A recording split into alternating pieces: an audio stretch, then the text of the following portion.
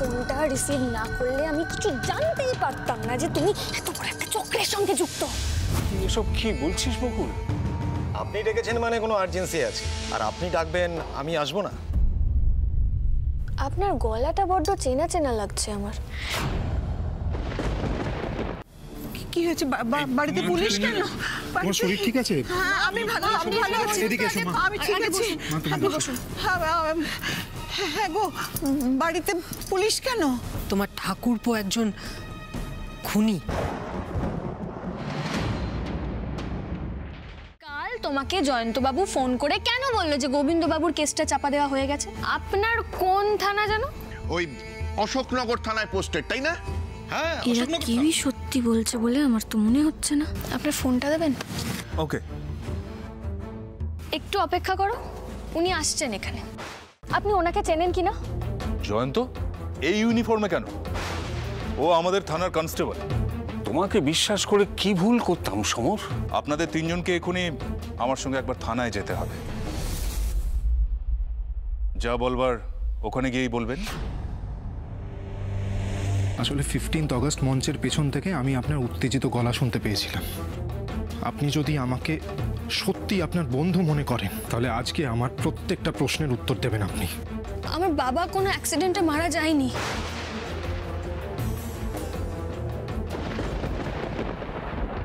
আর মানে কি গোবিন্দ বসাক জানতেন যে আপনার বাবার মৃত্যু অস্বাভাবিক? উনি এটাও জানতেন যে এই কাজটা কে করিয়েছে। আচ্ছা বকুল আপ- আপনি বলুন তো আপনি কাউকে সন্দেহ করেন? তার মানে আপনি পার্টিকুলারলি কাউকে সন্দেহ করেন? কে এসে আমাকে বলুন। রজতাবু রক্ষী রজতাবু রক্ষী রজতাবু হ্যাঁ কই সমর? হ্যাঁ গুরুদেব। ওই পাত্রের কুষ্টি এনেছো তো? হ্যাঁ হ্যাঁ। দাও। এসা মায়ের মঙ্গল কিন্তু ভারী। তাই যেখানে বিয়ে দাও না কেন একটু দেখে শুনে নিও। ঈশার সঙ্গে যেন রজতাবু রক্ষীতে ছেলের কুষ্টিটা না মেলে। আর রজতাবু রক্ষিতের ওই ছেলে তাকে তো কোনোদিন আমি চোখেই দেখিনি। সেই মেয়েটা না? সেদিন সঙ্গে পুলিশ ছিল বলে আমাকে বহুত রেলা দেখিয়েছিল। আমার গালে চড় মারা। আজ তোমাকে বুঝিয়ে দেবো অরুণাবরক্ষিত কি জিনিস।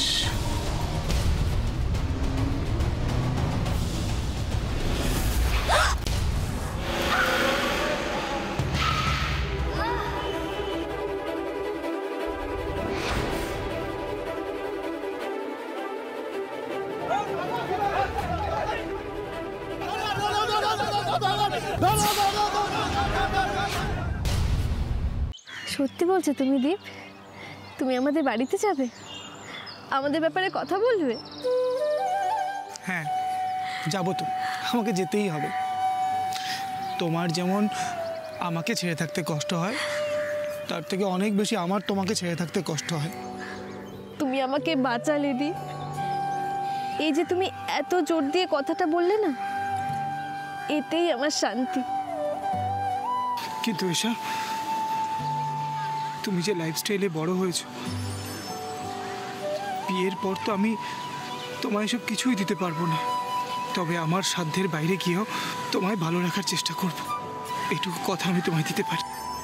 তোমাকে ছাড়া আমি তোমার কাছে কি কোনোদিনও কিছু চেয়েছি দি তুমি চাওনি। কিন্তু তোমার বাবা মা বাড়ির লোকজন তারা যদি চান তাহলে তো সেটা অন্যায় না। তাই না বলো? জানি।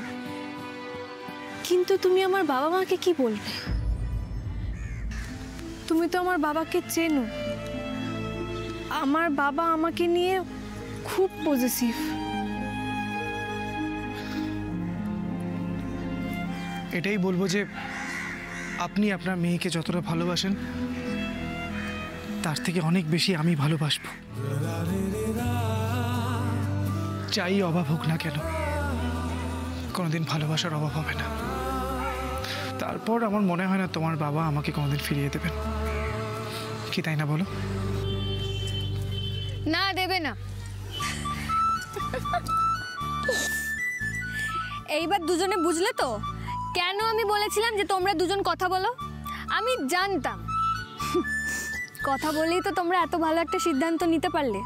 কি? থ্যাংক ইউ ছোট বৌদি।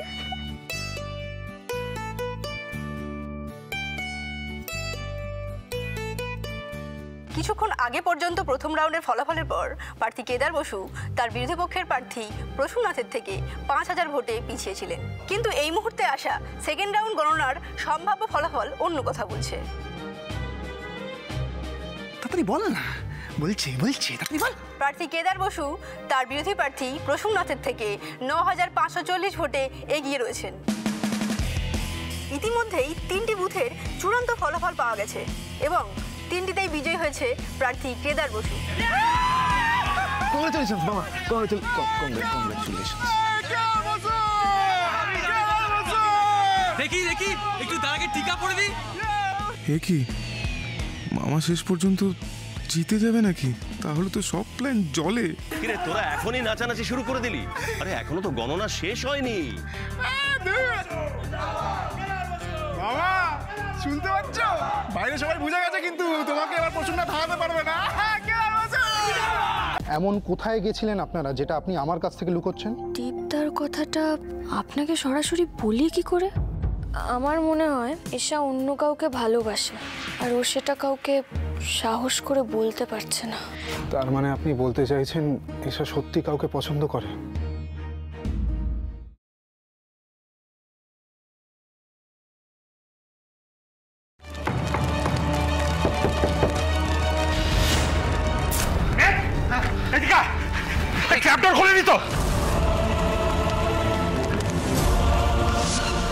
আর কয়েক সেকেন্ড মহেন্দ্র। তোমার আর ভানুর জীবনদীপ নিভল বলে।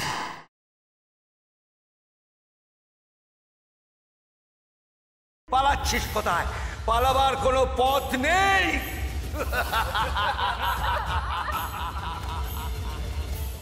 আমার মনে পড়ে গেছে আমার আগের সব কথা মনে পড়ে গেছে। আমলো কি আমার নিজের মেয়ে।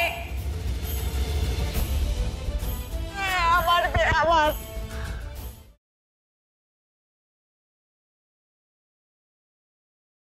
আর কোনো পরীক্ষা দিতে হবে নাকি হ্যাঁ? দিয়েছে তো মুখে একেবারে ঝামা ঘষে। আর কি করতে হবে?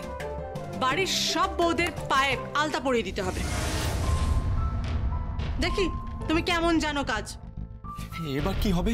হ্যাঁ, আলতার ব্যাপারটা কি হবে?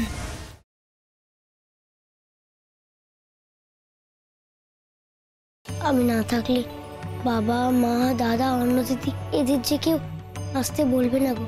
কিন্তু তুই নিজে যদি সারাক্ষণ এত উতলা হয়ে থাকিস তাহলে ওদের স্বাভাবিক করবি কি করে? আমি কিচ্ছু জানি না। শুধু একটাই কথা জানি আমি না থাকলে এই বাড়িটাও থাকবে না ভেসে যাবে বোধহয়।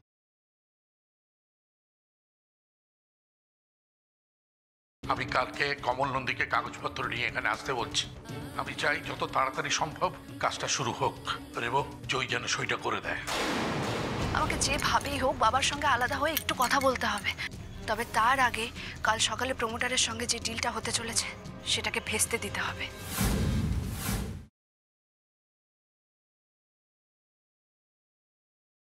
তো অনেক বড় অ্যামাউন্ট কিসের চেক শ্যামার ভাইয়ের অপারেশনের জন্য। একটু কনফিডেন্স গ্যাদার করছিলাম নিজের মধ্যে। এই চেকটা দিয়ে গেল বাবা। কেসটা খুব তাড়াতাড়ি সুস্থ হয়ে উঠবে। আমি কথা দিচ্ছি বাবা। একদম চিন্তা করবেন না।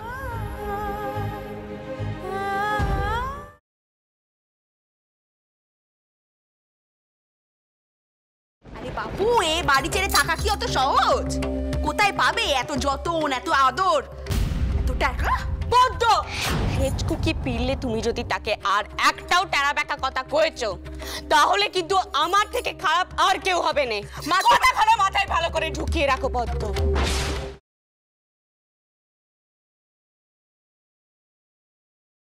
কারা যেন পারুল আর রাঘবের সর্বনাশ করার প্রতীক্ষা করেছিল? কারা করেছিল যেন? তুমি চলে যাওয়ার পর বিশান টিলা থেকে পড়ে যাবে আমি জঙ্গলে গেছিলাম, ওর জন্য ওষুধ আনতে। মার চাপা ভাইরা একা ছিল। তখন এক ভয়ঙ্কর রাক্ষসী মার চাপা ভাইদের হরণ করে নিয়ে যেতে চাইছিল।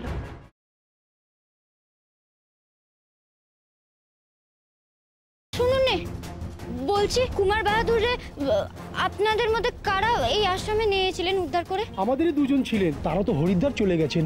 হরিদ্বার? তাহলে কেউ বলতে পারবেন না? কোনো উপায় যে খুঁজে পাচ্ছি না পেমান পাওয়া।